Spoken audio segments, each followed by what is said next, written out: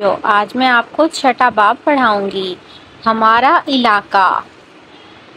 ये मेरा घर है। यहाँ मैं अपने घर वालों के साथ रहता हूँ। हमारा मोहल्ला। घर कई तरह के होते हैं। पुख्ता घर, कच्चा घर, झोंपड़ी, फ्लैट। हमारे घर के करीब रहने वाले लोग हमारे पड़ोसी कहलाते हैं। हमारे पड़ोसी बहुत अच्छे हैं, वो खुशी और गम में एक दूसरे का साथ देते हैं। जब हमारे घर के करीब ही मार्केट है, जिसमें बहुत सी दुकानें हैं, करीब ही खेल का मैदान है, जहाँ हम शाम के वक्त खेलने जाते हैं, जहाँ कई ख़ानदान मिलकर रहते हों, उसे मोहल्ला कहते हैं। अब यहाँ पर सारा का मोहल्ला दिखाया हुआ है। सारा के मोहल्ले में आप देख सकते हैं, स्कूल है, मस्जिद है, पार्क है और सारा का घर है, रोड है। ये सारी चीज़ें मिलकर मोहल्ला बना रही हैं। प्यारे बच्चों, क्या आप इस नक्शे में सारा के मोहल्ले में मौजूद दो अहम इमारतों के नाम बता सकते हैं? अपने मोहल्ले में मौजूद अहम इमारतों की निशानदही करें। अब जब हम सारा के मोहल्ले की बात करें तो यहाँ पर स्कूल और मस्जिद दो अहम इमारतें हैं। इसी तरह आपके मोहल्ले में कौन सी अहम इमारतें हैं, वो आप ज़रूर बताएँगे।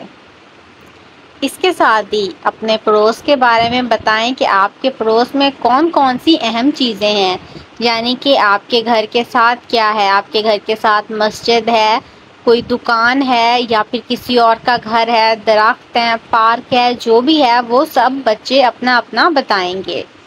अब यहाँ पर जो हमारे पास सरगर्मी है, इसमें सही काम के सामने टिक का निशान लगाना है। घर का कूड़ा क्रिकेट पूरे दान में डालना, अपने घर, गली और मोहल्ले को साफ़ रखना, घरों की दीवारों पर लिखना गंदा पानी गली या सड़क पर जमा होने देना। अब ये चार चीज़ें हैं। इसमें घर का कूड़ा क्रिकेट पूरे दान में डालना अच्छी बात है, ठीक है? ये सही काम है। अपने घर, गली और मोहल्ले को साफ़ रखना भी सही काम है। लेकिन घरों की दीवारों पर लिखना और गंदा पानी गली या सड़क पर जमा होने देना, ये सही काम नहीं है। इसलिए इस पर टिक नहीं लगाएँगे। उसके बाद हमारे पास यहाँ पर घर की तस्वीर को इस नाम के साथ मिलाएँ। अब यहाँ पर आपने बताना है, कच्चा घर कौन सा है, फ्लैट कौन सा है, झोंपड़ी कौन सी है और पुख्ता घर कौन सा है, ठीक है?